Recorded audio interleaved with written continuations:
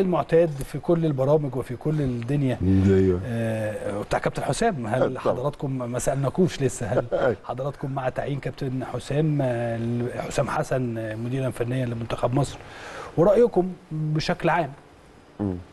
اتفضل يا أستاذ محمد آه، يعني طبعا آه، بعد التجارب اللي إحنا مرينا بيها طبعا كتير جدا مع المدربين الوطنيين دايما تجربة المدرب ال ال ال الوطني بتثبت إن هي الأنجح مع المنتخب الوطني لأن هو الأقرب للعيبة والأقدر واللي هو عارف الظروف وعارف الحاجات محمد هو الناس عارفة الكلام ده لكن. آه. أنا دلوقتي سؤالي آه الناس عارفة إن ليه دايما ليه دايما بنروح للمدرب الأجنبي دام كلنا عارفين كمسؤولين رياضيين وكصحفيين رياضيين وكإعلاميين رياضيين وكلاعيبة قبل كده وحضراتكم أساتذتنا وكل حاجة ولكن ما الناس عارفة.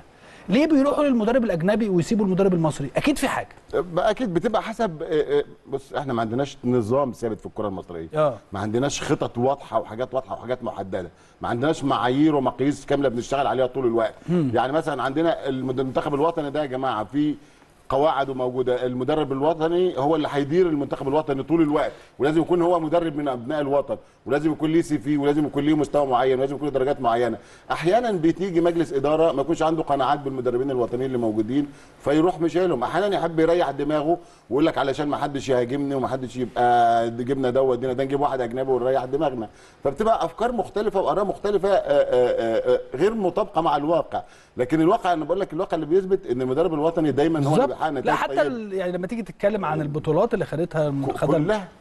كلها يعني من 57 ل 59 مدربين وطنيين ما في 86 مايكل سميث بعد كده كابتن الجوهري بعد كده كابتن حسن شحاتة. ده كل تاريخنا مع ال- ال- النتائج اللي اتعملت كلها نتائج عظيم أعظم نتائج عملناها بمدرب وطني بحاجات كويسة. فأتمنى إن تكون تجربة الكابتن حسام يعني راجل كان حلم حياته بيقاتل من أجل هذا الأمر إن يقدم لنا تجربة مختلفة وتجربة جديدة تجربة سرية تجربة تعيد للمنتخب المصري ان إحنا بقالنا فترة كتيرة جدا فاقدين الهوية فاقدين الشخصية مع كل المدربين اللي حقيقي. اشتغلنا معاهم بشكل كبير جدا يعني.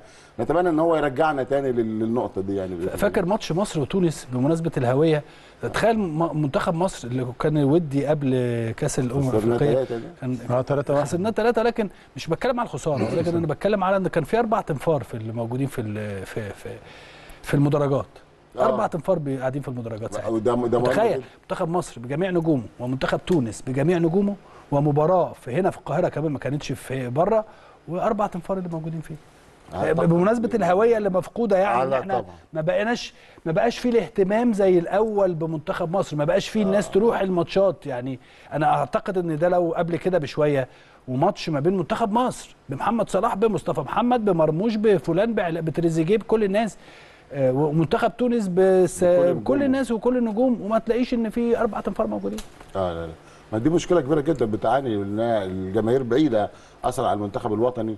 أصبح طب كمان في نوع من تحزب للأندية أكتر من المنتخب الوطني عشان نبقى صرحاء وواقعيين.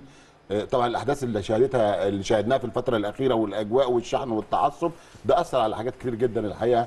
أفقد الجماهير آه، الهوية والانتماء والحب حتى لمنتخب مصر وده شيء سيء وشيء كارثي ما نتمناش إنه يكون موجود ولكن برضو خلينا نكون واضحين إن هناك بعض الأمور اللي كان اللي بتحصل في بعض الاستادات هي برضو كان ليها دور في عزوف ال- ال- الجماهير بالظبط وكانت الأمور الأمور الأول كانت أسهل وكانت مريحة يعني حاجات. كتيرة جدا كانت متيسرة بالنسبة أنا للناس أفتكر في يعني. 2006 كانت الأمور رايحة جاية يعني الناس لا، كلها كان فيش. بياخد مراته وعياله ويروح ده صحيح دلوقتي ما بنشوفش هذا الكلام